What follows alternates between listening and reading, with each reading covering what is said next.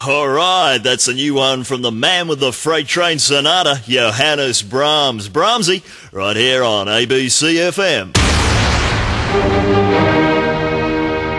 Okay, time to go to the callers. Find out why you've made the switch to better classical music and more of it. ABC FM. Hello, Jeff. Hi, I've made the switch to ABC FM because I like the mix of 17th century opera and lesser known concertos by Konstantin Rimsky Korsakov and Bella Bartok. Bella Bartok playing the Arts Centre this Friday, thanks to who, Jeff? ABC FM. That's right, you've gone into the draw for that fantastic trip for two to the Bartok Cafe in New York. Excellent. Can I just say I love waking up to the Gregorian crew and driving home with Wagner Vivaldi. Okay, thanks, mate. We'll be back with less talk and more Mozart right here on ABC FM.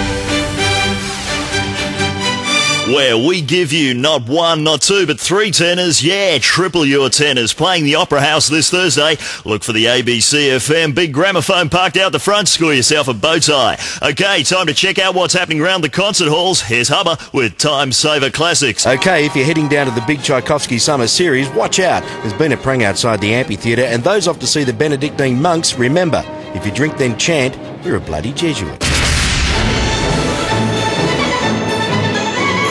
Okay, we're back. Next up, we cross out to the Classic Thunders to give away some more Claude Debussy prize packs. Then the better classical music continues with Frederic Chopin, Chopinsy, right here on ABC FM. ABC FM, where you don't have to sit through this. To hear this. I've seen this happen. I was at a funeral where the coffin was delivered in the back of a Black Thunder. exactly. It was outrageous. The great thing was, though, that every mourner got a copy of the new Paula Abdul album. Here's the other scam. You know, how you get the ashes. Like Yeah. usually, you know, it's like, right, who wants the ashes? now you can split it up.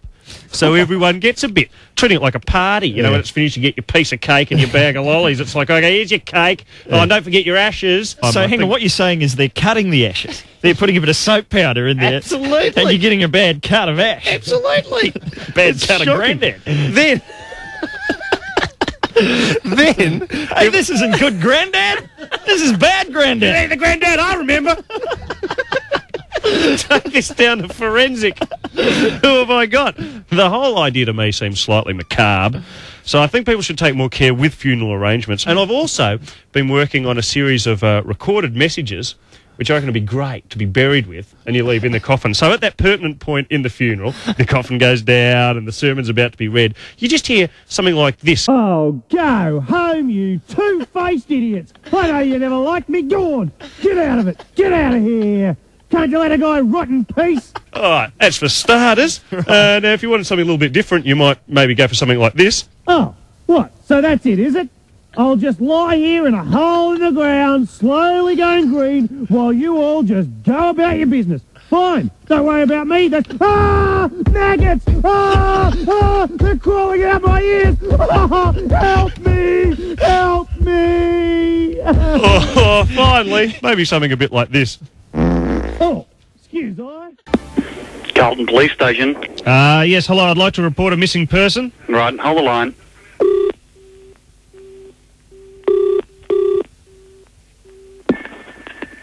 Hello, Senior Constable Chair. Uh, yes, hello, look, I'd like to report a missing person. All right, no worries. What's the name of the missing person, mate? Uh, Tony Martin. Tony Martin. M-A-R-T-I-N. That's right. And uh, when was he last seen? Uh, last night, uh, round about evening, he was heading off to his Gladiators audition, and I haven't seen him since. Gladiators. Yes, yes, at uh, new show on Channel 7. Oh, all right, mate. Uh, could you describe him for me? Yes, uh, he's tall, uh, skinny, glasses, and a huge tattoo of an anchor down his right arm. Tattoo of an anchor. Yeah, big one, like sailors wear. Oh, mate. What's he, what was he wearing? Uh, let me see. Uh, a bandana, a patch over one eye. Oh yeah, yeah, and and no pants.